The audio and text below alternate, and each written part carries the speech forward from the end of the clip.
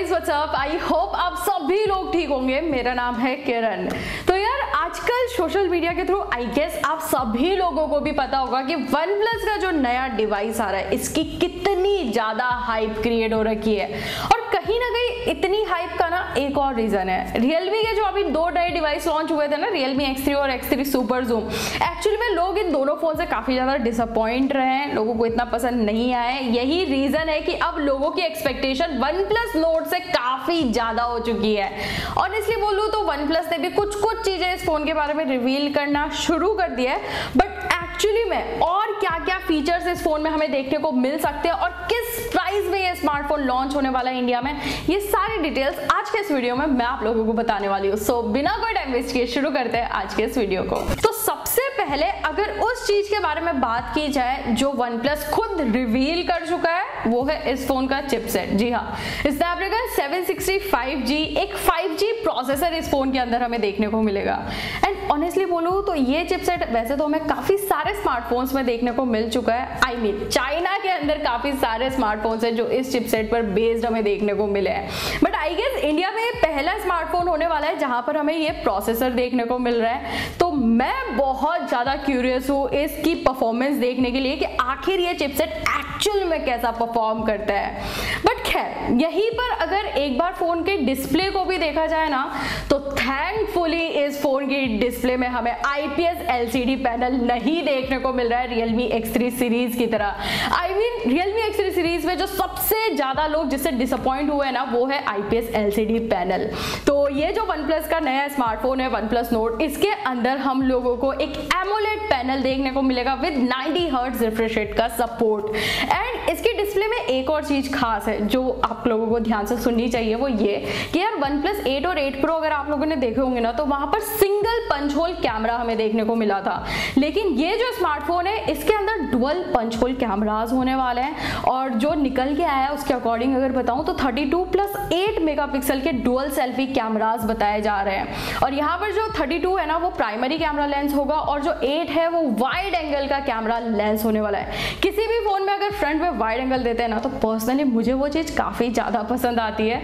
लेकिन एक और चीज़ है कि हो सकता है ये 32 मेगापिक्सल की जगह रेजोल्यूशन को थोड़ा सा ऊपर नीचे कर दिया जाए, हो सकता है बत्तीस की जगह, शायद से 16 मेगापिक्सल का देखने को मिल जाए फ्रंट में।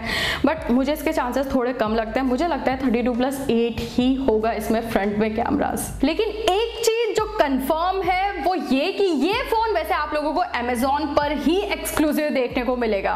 और अगर आप ये स्मार्टफ़ोन या फिर कोई भी प्रोडक्ट किसी भी शॉपिंग साइट से परचेस करने का सोच रहे हो ना तो यार मेरे हिसाब से इतनी सारी शॉपिंग एप्लीकेशन फ़ोन में इंस्टॉल रखने की बिल्कुल भी ज़रूरत नहीं है। वैसे भी काफ़ी सारा स्टोरेज खा जाती है।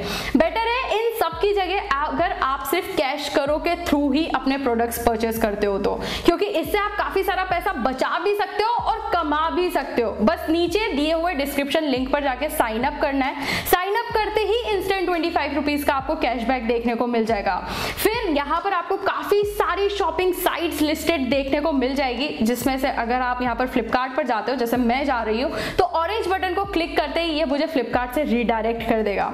जिस तरह से यूजुअली आप अपने प्रोडक्ट प्लेस करते हो ना, उसी तरह से आपको यहाँ पर अपना ऑर्डर प्लेस करना है। ऑर्डर प्लेस करने के बाद प्रोफ़ाइल में अपनी माय अर्निंग्स चेक करना है। वहाँ पर आपको कैशबैक्स और अपने रिवॉर्ड्स देखने को मिल जाएँगे। कैशबैक अगर आपका ढाई सौ रुपए से ज़्यादा हो जाता है तो डायरेक्टली आप उन पैसों को अपने अकाउंट में ट्रांसफ़र कर सकते हो। एक चीज़ जो ध्यान रखने वाली है वो ये कि अमेजोन और फ्लिपकार्ट से अगर आप कुछ भी परचेस करोगे तो आपको रिवॉर्ड्स मिलेंगे और उन रिवॉर्ड्स को आप वापस से अमेजोन और फ्लिपकार्ट पर ही यूज़ कर सकते हो गिफ्ट वाउचर की तरह। बाकी एक चीज़ बता देती हूँ कैश करो, एक इंडियन कंपनी है जिसमें रतन टाटा ने भी इन्वेस्ट किया है तो मेरे हिसाब से एक बार चेकआउट करना तो बनता है। लिंक अगेन बता रही हूँ, नीचे डिस्क्रिप्शन में मिल जाएगा।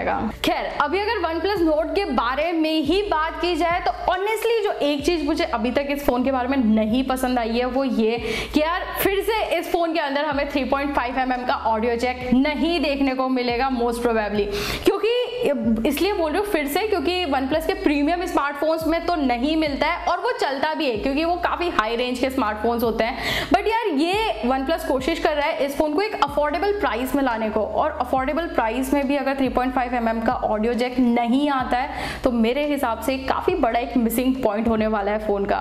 बाकी हाँ इसके अलावा आपको यहाँ पर टाइप सी देखने को मिल जाएगा वन प्लस का जो खास फीचर होता है अलर्ट स्लाइडर वो सब कुछ आपको यहाँ पर देखने को मिलेगा। बट यहीं पर अगर देखा जाए ना, एक बार बैटरी भी तो यहाँ पर आप लोगों को मोस्ट प्रोबेबली 4300 mAh की बैटरी देखने को मिलेगी विथ 30 वॉट फास्ट चार्जर, और ये चार्जर भी बॉक्स के अंदर होने वाला है। तो बैटरी का डिपार्टमेंट तो मेरे हिसाब से काफ़ी कमाल का होने वाला है। उसमें आई गेस कोई प्रॉब्लम नहीं होगी। बस 3.5 पॉइंट mm का ऑडियो जैक ये एक दिक्कत बन सकता है। लेकिन एक और चीज़ जो इस फ़ोन की थोड़ी सी रिवील हुई है, वो है इस फ़ोन का बैक लुक बैक में भी स्पेशली अगर फ़ोन का आप कैमरा मॉड्यूल देखोगे ना तो वही एक जो टिपिकल कैमरा मॉड्यूल नहीं होता है सिंगल लाइन अलाइंड कैमराज उस तरह का कैमरा सेटअप यहाँ पर होने वाला है। ट्रिपल ईयर कैमराज होंगे 48 मेगापिक्सल का प्राइमरी कैमरा लेंस दिया जाएगा। एक अल्ट्रा वाइड लेंस होगा एंड एक टेलीफोटो लेंस यहाँ पर होने वाला है। बाकी जहाँ तक बात रही फ़ोन की प्राइसिंग की तो ये फ़ोन 25 से लेके 28,000 तक की प्राइस में इंडिया में लॉन्च होगा। आई I मीन mean, मेरे हिसाब से 25 से अट्ठाईस हज़ार के बीच में ही इसका प्राइस होना चाहिए। अगर वन प्लस इसको इतना ज़्यादा टीज कर रहा है अफोर्डेबल फ़ोन के नाम से तो हाँ इसी प्राइस में आता है तो मेरे हिसाब से काफ़ी वैल्यू फॉर मनी डिवाइस होने वाला है। बाकी डेफिनेटली बाहर की कंट्रीज़ में ये फ़ोन काफ़ी ज़्यादा हाई प्राइस में लॉन्च हो सकता है। आप ऑलरेडी देख ही चुके होंगे वन प्लस एट सीरीज़ का जो प्राइस था, वो इंडिया में काफ़ी कम था, बाहरी कंट्रीज़ में काफ़ी ज़्यादा था। बट एनी अगर फ़ोन के लॉन्च डेट की बात की जाए तो जुलाई में ही डेफिनेटली देखने को मिलेगा। बीस जुलाई के आसपास ये फ़ोन इंडिया में लॉन्च हो सकता है। आई होप इस वीडियो से आपको काफ़ी कुछ आइडिया लग गया होगा कि कैसा होने वाला है वन प्लस नोट अगर आप लोगों को ये वीडियो पसंद आया है, थोड़ी भी इंफॉर्मेशन अगर आपको यूजफुल लगी है तो इस वीडियो को लाइक ज़रूर से करिएगा। बाकी मैं आपको मिलती हूँ नेक्स्ट वीडियो में।